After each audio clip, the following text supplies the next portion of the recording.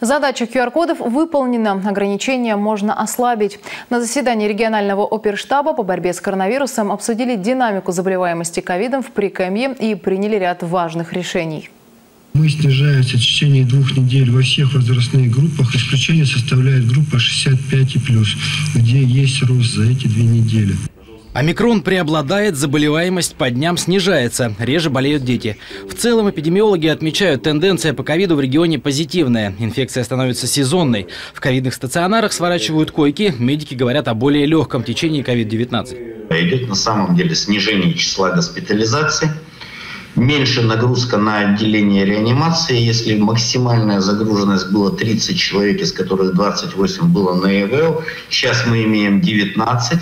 Они, правда, все с дыхательной поддержкой, но половина из них на неинвазивной вентиляции легких.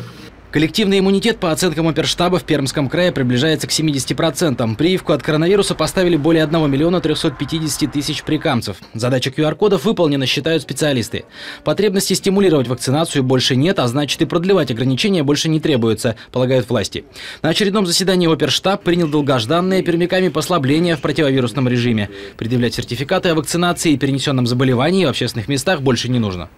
Я, конечно же, от лица а, оперативного штаба хочу а, извиниться, может быть, перед теми людьми, которые получили ну, определенные ограничения или неудобства в жизни своей, но это а, та мера, которая принималась в вынужденных условиях. Также в Перми и территориях края отменяется режим обязательной самоизоляции для людей старше 60 лет и требования о переводе на дистанционную работу части некоторых коллективов.